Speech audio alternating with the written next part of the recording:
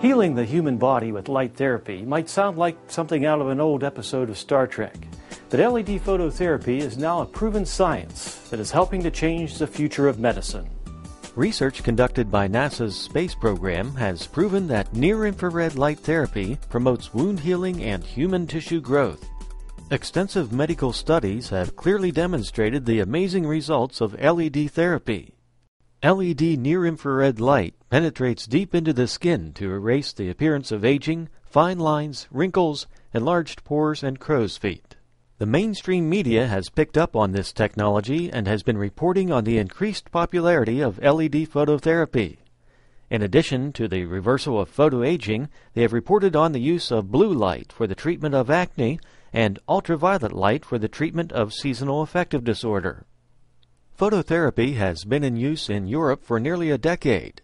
Now, American based manufacturers like Paul Spivak of Light Therapy Systems have been working to make products which improve on the effectiveness of these technologies. Our main unit uh, does your hands and your neck. Uh, most competitors, their circuit boards are, are very short, they only do your face.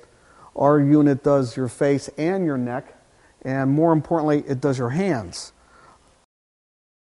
There's absolutely no medical procedure that can be used for the hands right now except for LED phototherapy.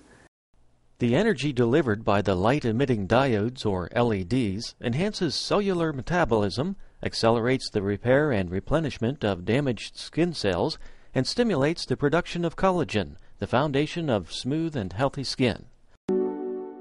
The treatment is non invasive, painless, and requires no downtime. It's proving to be a safe and effective alternative to expensive chemical, laser, and surgical procedures. Using LED lights for healing offers hope for non invasive, pain free modalities to keep us healthy, happy, and younger looking in the future. Thank you for watching.